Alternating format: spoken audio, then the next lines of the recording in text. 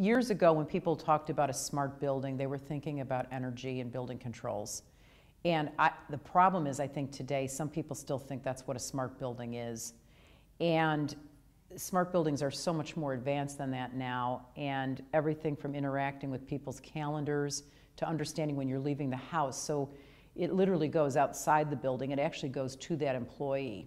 But you have to think about what that actually does, because if it actually allows you to accommodate someone in a digital way, and it's an overused example, but I am going to talk about Uber, because if you think about the simplicity of interacting with that kind of a service, that's what's happening in the buildings.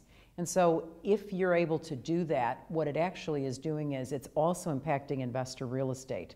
So, when you start looking at models like WeWork, for years and years, the corporate real estate community had asked for far more flexibility and agility from the real estate providers and from the owners. How do we get that much needed flexibility?